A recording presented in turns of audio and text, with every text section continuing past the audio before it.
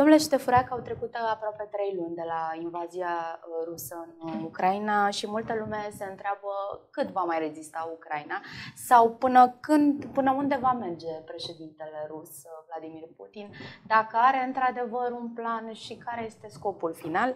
Dumneavoastră, cum vedeți lucrurile? Sigur, nefiind un expert în chestiuni militare, pot doar să citez mai degrabă sau să reiau uh, uh, argumente aduse de cei care se pricep, în principal de uh, serviciile uh, de inteligență militar, de exemplu, de uh, oficiali ai NATO. Uh, iar din acest punct de vedere, sigur, veștile poate nu sunt cele mai încurajatoare, în sensul în care uh, valul de incertitudine este, valul de incertitudine este în continuare uh, foarte mare. Mai precis, uh, nu putem să știm în acest moment cât va mai dura acest conflict. Uh, ar fi o eroare din partea oricui să spună că va mai dura o săptămână, o lună, două luni, un an, doi. Nu știm, efectiv nu știm. Și poate că acest lucru, într-adevăr, este chiar mai îngrijorător. În momentul în care ai o perspectivă destul de clară, dată de confirmată de faptele din teren, atunci uh, poate că lucrurile ar fi mai uh, uh, bune și ar permite cumva să uh, evaluăm mai clar implicații economice, implicații politice, implicații sociale. Deci nu știm. Uh, ce va face Putin Vladimir știe? Putin? Uh, cred că nici Vladimir Putin încă nu știe foarte mult. Cu siguranță nu își permite un uh, eșec colosal care ar însemna un faliment al regimului. Probabil că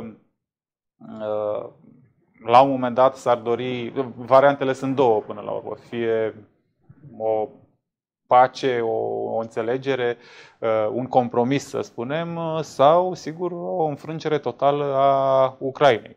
Uh, nu pot fi alte variante. Alte variante chiar nu mai sunt. Din acest punct de vedere, da, negocierile. Mai mult de fațadă?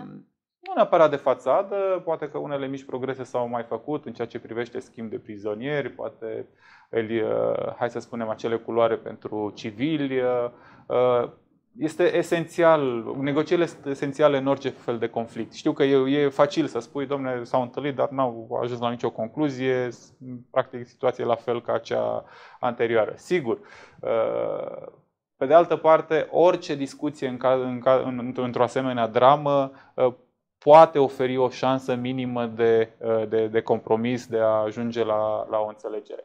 Acest război, sigur, poate fi scurtat dacă uh, opinia publică din Rusia, populația Rusiei va, înce- va resimți costurile războiului și va genera presiune asupra regimului uh, autocratic de la Moscova, astfel încât să, să ajungă mai repede la o formulă negociată. Pentru că și această formulă de negociere și acest compromis poate fi uh, Uh, mai intens defavorabil Ucrainei sau mai corect din perspectiva ambelor părți sau mai defavorabil uh, Rusiei. Dar o presiune Uh, a populației Rusiei uh, nemulțumită, să spunem, de consecințele războiului. Deocamdată încă ele nu sunt foarte vizibile, dar pe măsură ce se prelungește conflictul militar, implicațiile economice, sociale asupra societății ruse vor, vor, uh, se vor amplifica.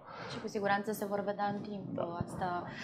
Mai nou am văzut că bagă bățul prin gard, să spun așa, și în Transnistria, care este marea vulnerabilitate a Republicii Moldova se vorbește despre faptul că Vladimir Putin ar avea un plan și pentru Republica Moldova.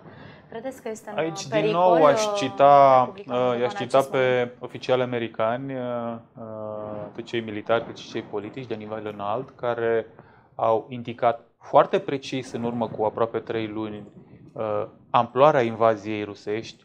Au spus foarte clar că va fi o invazie pe scară largă au anticipat foarte corect atunci că, uh, uh, practic, uh, inclusiv săptămâna în care ar urma să fie atacul. Prin urmare, legat de Transnistria, m-aș baza în continuare pe aceste evaluări, iar evaluările, cel puțin americane, sunt foarte, au fost destul de clare și anume că nu există un risc de deschidere a unui nou front în Ucraina. Sigur, Întotdeauna și acești evaluatori pot greși, Însă, dacă luăm în considerare și, haideți să spunem, analizele militare care au mai tot apărut Uh, în ultima perioadă, susținute de diversi experți, am constatăm că deschiderea unui front în Transnistria ar fi o întreprindere nu doar riscantă, ci improbabilă în acest moment, pentru că nu există o, o joncțiune pe teren, uh, practic pe teritoriu, între Transnistria și, să spunem, partea de sud a Ucrainei cucerită deja de